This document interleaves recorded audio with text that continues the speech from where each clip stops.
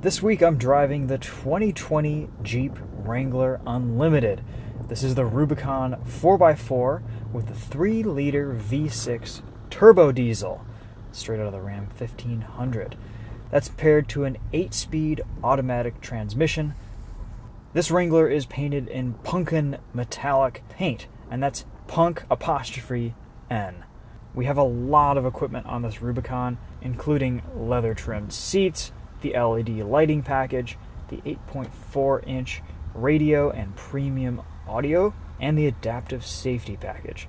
This also has steel bumpers front and rear, and of course, the diesel engine is a $4,000 option with its special 18.3 gallon fuel tank and 3.73 rear axle ratio.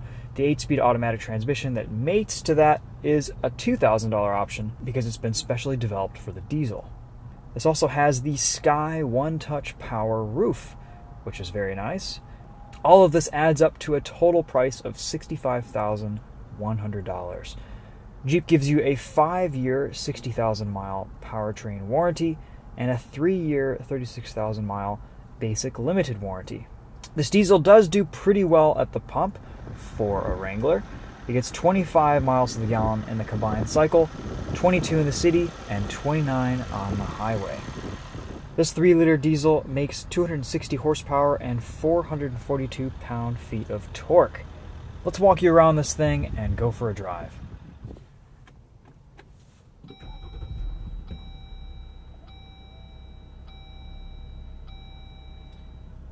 Alright, guys, this new diesel Wrangler Rubicon.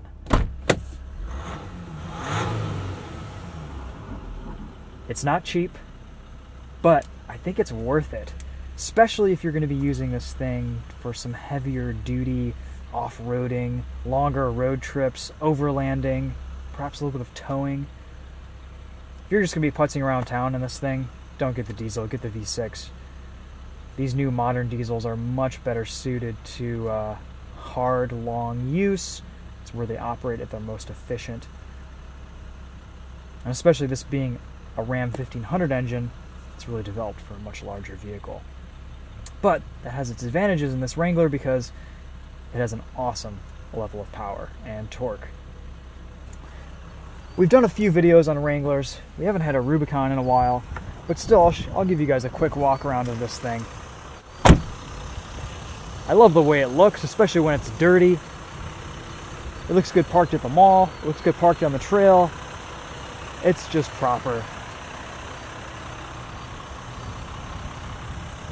Got these massive BFG KO2s. Great amount of ground clearance, breakover angle. These things will take you anywhere. But the real advantage to this new JL platform is its on-road manners. It's nothing like any other modern vehicle on the road. It's still got that wallowiness, that kind of unsettled, soft feeling over bumps and around corners. But it is livable now. It's quite a bit more refined. It's no, nowhere near the level of refinement the new Gladiator has on road, but it's it's close and it's pretty good. You get a lot amount of usable space in this Wrangler four door. This is a pretty nice spec in my opinion. You can fold down these rear headrests for better visibility. These seats come down really easily. They fold completely flat so you can fit a lot of stuff in the back here. You've grab handles on all four sides for passengers to get up into the vehicle. And I actually have a good amount of space back here with this panoramic fold back convertible roof this is pretty cool actually. Press of a button, you've got a convertible, and you don't have to take off a bunch of roof panels. You don't have to scratch your hard top pulling it off in pieces. This is a cool option. It's four grand, but it's a cool option. Oh yeah, press of a button, you get the full Jeep experience. I like that. A little bit of rear, rear climate control, lots of USB ports, Type A, Type C, standard plug outlet, some cargo nets. What's not to love about this thing? It's got everything you need.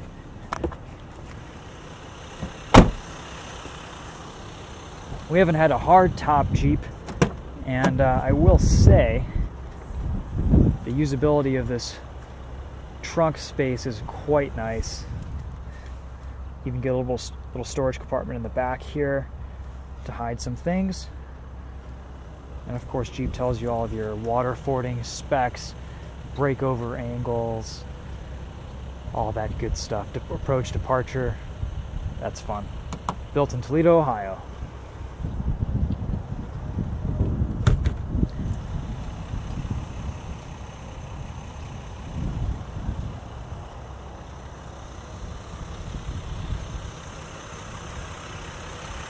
Let's take a look under the hood at this 3 liter turbo diesel.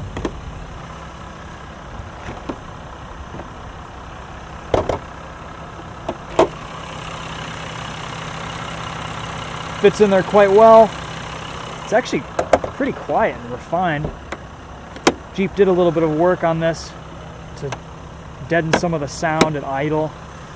And you still get a little bit of that diesel clatter when taking off, but overall it's it's a little bit quiet, but you still know that it's a diesel.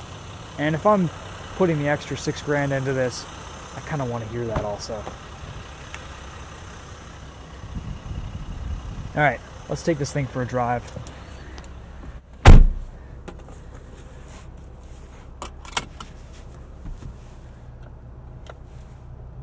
We have one of the highest res reverse cameras I've seen in a modern car and that's that's kind of cool. I wish Jeep integrated some type of a trail cam system in this where you could see ahead of you, but I do appreciate that Wranglers tend to be a little bit more of an involved off-road experience. You get into some vehicles and they do all the work for you, and in this it still takes a little bit of uh, driver driver skill to get you through technical trails and certain challenges.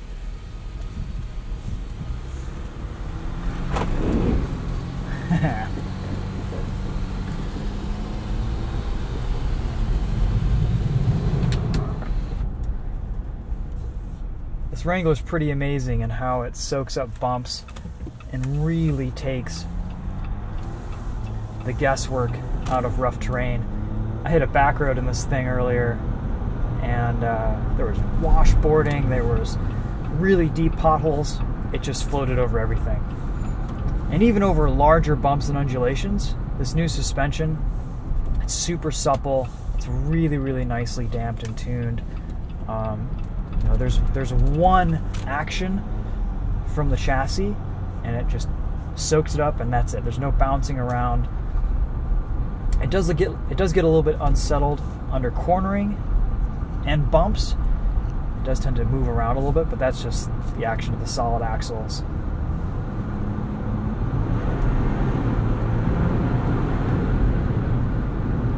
You can hear this diesel is actually pretty quiet.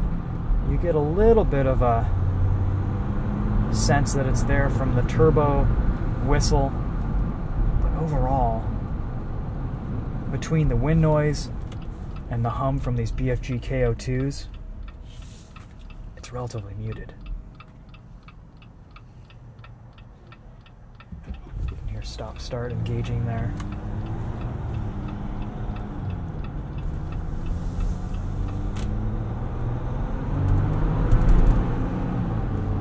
Tuning from this 8 speed is really, really good. This is a phenomenal transmission. Um, a little bit sad that they don't offer manual with this diesel, but at the same time, this 8 speed is so good and so well tuned for the torque and the power delivery that uh, I kind of don't miss it. I've been getting pretty decent fuel economy with this thing too this week, averaging about 23, 24 miles to the gallon in mostly city driving. I think you could do pretty well on the highway with this, about 29 miles to the gallon if you kept your speeds below 70 miles an hour, 75 miles an hour.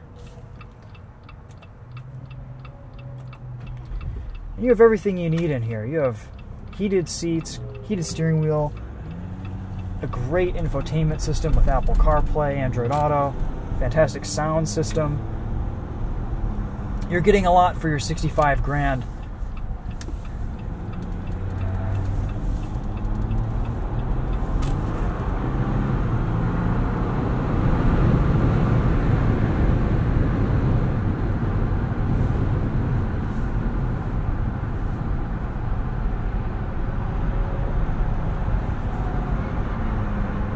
Just look at this passing power here.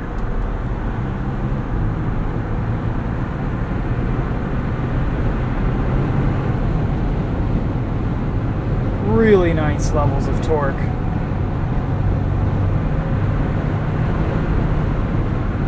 This 8 speed holds gears beautifully.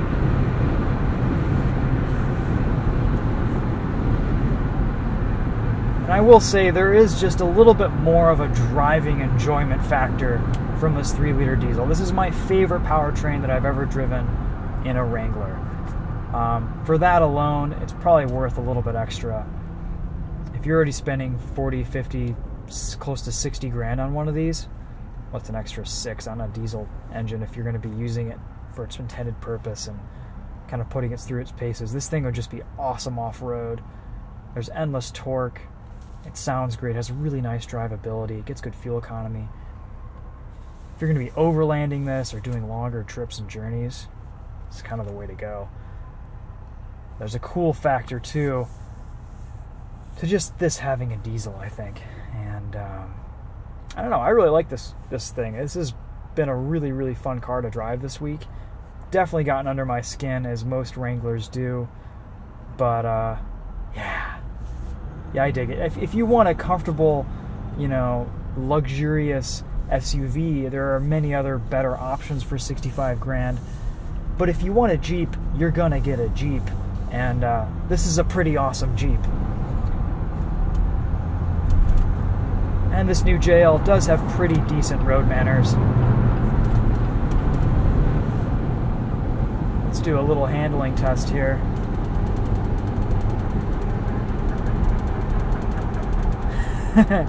Those KO2s chattering away. It's fine. I mean, there's a little bit of steering feel. You can hear the squeal of the tires before everything gives up.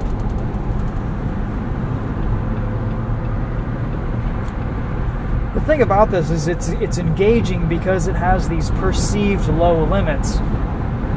And you can have fun just driving this thing around normally.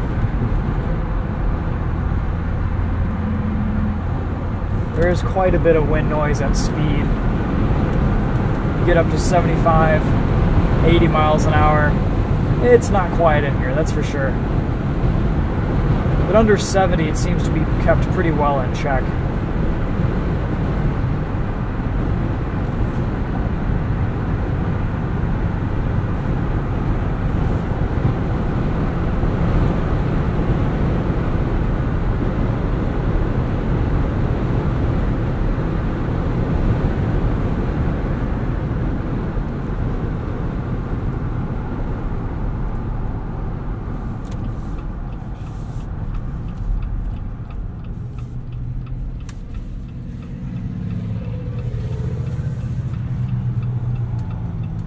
Course, with a soft top, you do hear just about everything going on around you. A hardtop Jeep would be significantly more, eh, a little bit more quiet, a little bit more sound deadening, all that good stuff. But I do think you'd be giving up a real advantage that this Wrangler offers. This folding back uh, soft top is pretty cool, and I think it'd be really useful in the summer.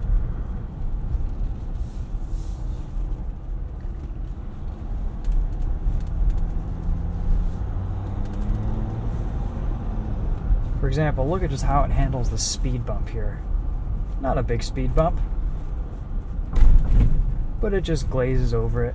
No big deal. Easy.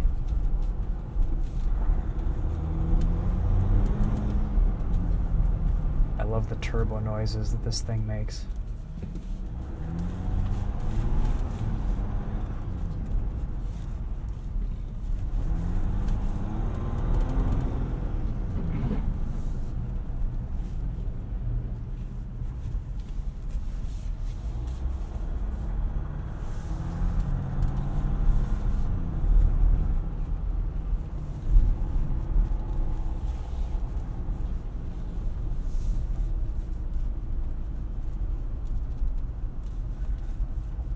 Guys.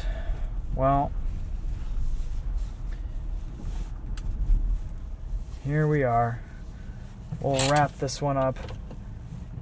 Hard parked in the movie theater parking lot. Overall, a great vehicle. I have truly enjoyed this this week, though I will be glad to get back into my Lexus GX 460 with its truly luxurious road manners. That said, though, this thing is fun. It's totally livable, it's totally dailyable, and uh, I love the capability that this Rubicon has. Just promise me this if you get one of these things, take it off road, use it, enjoy it, get it muddy, get it dirty. I see way too many pavement princesses hard parked at Starbucks these days. And, uh, I mean, if you just want to save it for the next owner, that's fine. But these things are so capable and so much fun off road